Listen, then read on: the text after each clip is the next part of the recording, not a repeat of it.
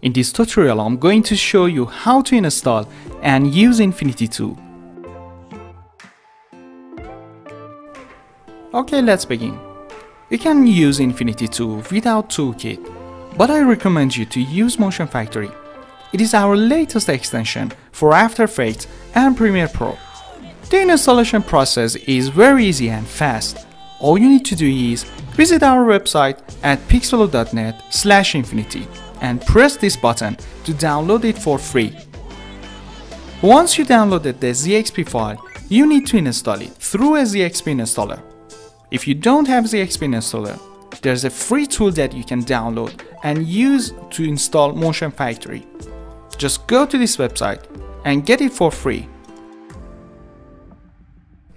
After installation, run the ZXP installer and drag the Motion Factory file into this tiny window. Alright, now open After Effects and go to this path, Window, Extension, Motion Factory. If you see two Motion Factory, it's because you have also installed Motion Factory Classic, which contains our popular projects like Action Effects, Type Builder, and HUD Builder. But we are not going to use it for Infinity. Let's get back to the new Motion Factory to import Infinity Tool into the Motion Factory, first you need to unzip the Infinity Tool pack on your hard drive. In this pack, you can find these folders. Two for After Effects CC 2018 or 2019 and one for Premiere Pro CC 2019. You can also find video tutorial and the quick start PDF files.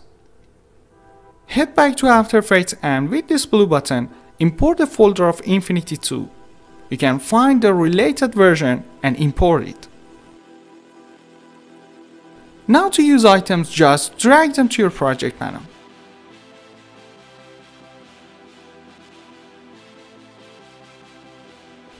You can make a new comp for your Shiny project. Then drag Infinity item that you want to use into your timeline. Can see when you select the comp, the panel of Motion Factory automatically switches to the setting of that particular scene. From this panel, you can customize text, colors and more.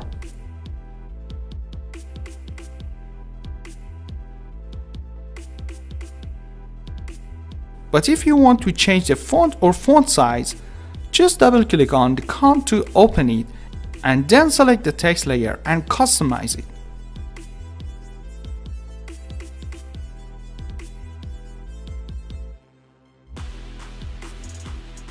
Let me change the colors a little bit.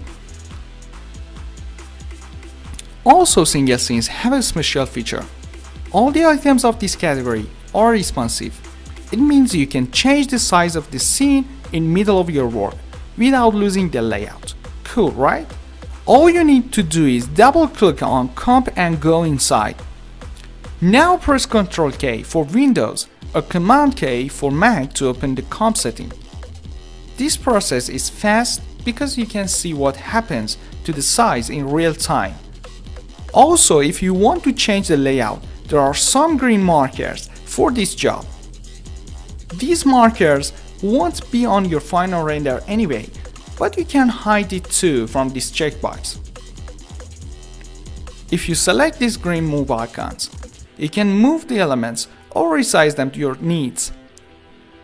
Now I can customize the entire layout however I want.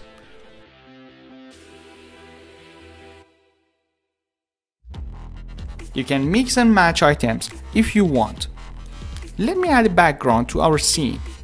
Remember you can preview all the items by hovering your mouse on thumbnails. You can also double click on items to add it to your project panel. Now you see that when you click on comps, the setting panel just quickly changes. This will really speed up your workflow because you don't need to go inside each comp every time you want to change the settings.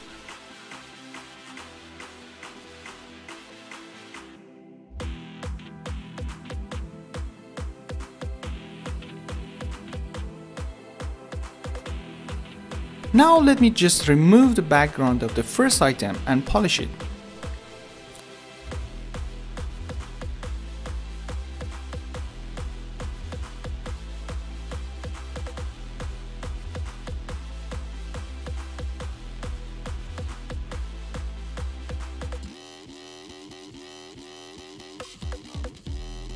Well, let's make another scene, because it literally just takes a couple of minutes.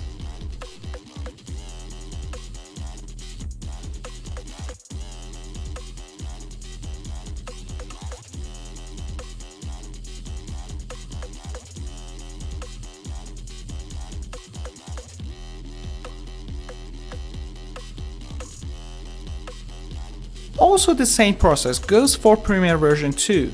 Just run the Motion Factory, import a folder and start using the elements. One quick fact, the panel of Motion Factory syncs real time both on Premiere and After Effects. So if you import something, you don't need to import it again on Premiere. Exactly like this new folder here.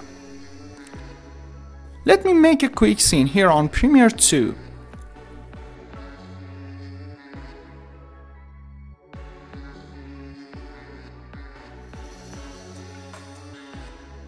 Alright, that's it for this part. Hope you liked this tutorial. If you have questions, please contact us and our experts reach you as fast as possible. Don't forget to share your love and feedback to us. Till next time, may the creativity be with you. Goodbye.